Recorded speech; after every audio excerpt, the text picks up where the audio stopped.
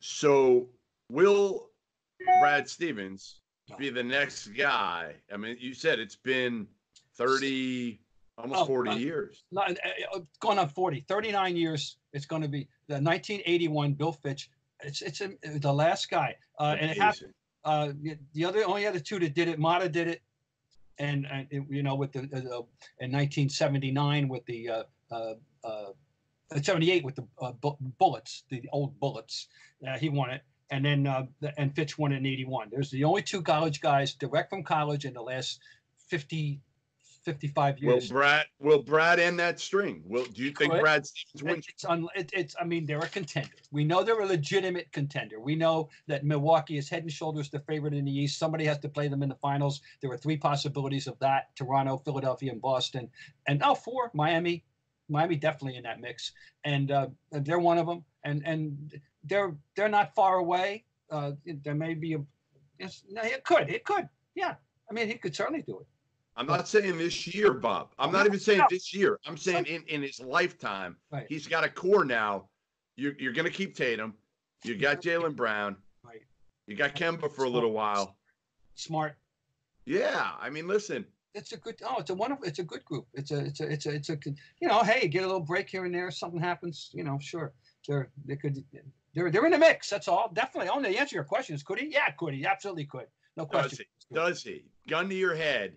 Does Brad Stevens win a title in, in Boston?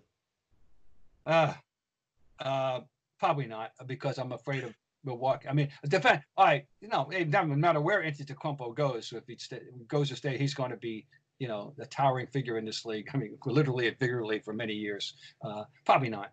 You know, I'm, I'm not. I'm not. But I'm a. Have to understand. I'm an. I, I'm a negative thinker.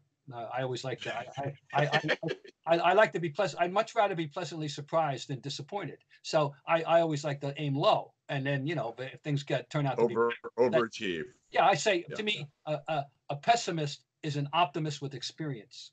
That's so. That's that's pretty good. I like that. I like that a lot. Okay. I, I'm going to be the optimist here. I'm going to say that I, I, I've always, you know, and and and I'm not a homer because I was about as big of a Brad Stevens fan as there was covering him in college, and I think I probably got to know him as well as any national um, writer while he was a Butler. Uh, in fact, I remember seeking him out. I would go in in in AAU basketball. I would cover it in July, and I would write down like three names of coaches that I wanted to meet that I just didn't know well, and I would text them and drive out to whatever gym they were at. Mhm. And I did that with Brad when he became, I think it was his first year at Butler as a as a head coach after I'd seen him um, beat Southern Illinois in Carbondale. Was, was he Uh, shaving text- yet at those days? What's was that? He, was he shaving yet? In the, when he, No. Hell no. Um, is, is, is he shaving now? Um, you know, I mean, uh, so I, I, I went out and I, you- just get a feel when you're around Brad Stevens that you don't get from being around other coaches. I, I always say you want to pinch him and, and say, "Are you real?" Because at that age, his first year, when I remember having that conversation with him and driving out to his side gym in Vegas and, and just sitting down with him, Mhm. he was the same maturity level he is now. Like he he had it. He just Yeah. had it. It was like there, he was born- something. There isn't it, and and so many walks of life, and and there isn't it, and and I, I I've been fascinated with coaching its for you know my whole professional career is is is, what works in, in all sports, you know, uh, in, all sports. It's just fascinating about about what that it is, and and and and how you know, yeah, it is. And there's clearly he's the anointed. He's one of the anointed. You know, now to me, the, the way the way he wins it all is if Jayson Tatum becomes one of the top five players in the Okay. NBA at some point in his career. I, I think then you win it all. But I think you you That's have a- to have you have to have Tatum be elite, and and he's already an all star. He made an all star game in year three. if he could replicate the game he just played against the Clippers, Yeah, yeah. uh, about forty times out of the eighty-two, right? That's pretty tough. That's what we're talking about because that has to be one of the handful of best all-around games anybody has played in this league this year. You know, uh, I mean, it was a it was a spectacular performance, and and and uh, both ends because he's now developed himself into a you know the key is he's he's taken pride in becoming a defensive player. He wants to be a great player, player. He doesn't just want to be a great offensive player. He wants to be a great player. He's still 21 years old. He's 20. Amazing. Think about so many of these, so many of these guys. I mean, he's not the guy. We could have this conversation about several other guys in this league, uh, uh, how incredibly precocious they are. And and he's but he's certainly at the top of the list among the bigs. Uh, not the top, the top, the top. Well, and under uh, under. I'll draw a line under 23. You know, Yeah, yeah. No, listen, and, and as you said, is is in, in, entering into the middle age. You know, what is he? 25. You know.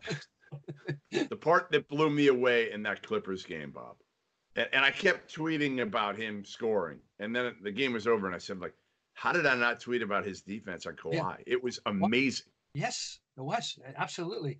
Oh, um, it was it was great, but that's asking a lot of anybody to replicate that forty Yeah. times. But but I I think you make an excellent point. He's got the capability of being an elite, a truly elite player. Uh, we have other the other guys. They have other guys. Uh, Brown's going to be a very very nice player Yep. and is a nice player, and and Smart is smart. You know, Yep. I think what we see is what we get. We're not going to get any more or less out of Smart than we now see. He's not going to develop into a, a 20 points a game No. scorer, but he's capable of a 25 point night every now and then when the when that that erratic three point shot is falling. But the other thing is the other stuff he gives you is there every single Yeah, yeah. other stuff. What what you need, you honestly probably need to win it all, to replace Gordon Hayward with a big, with a with a dominant big, and Yeah. and I don't know where you find that Where dominant. you find that? I know the world. You know, there's so few. You know. Anyway, yeah, we know that.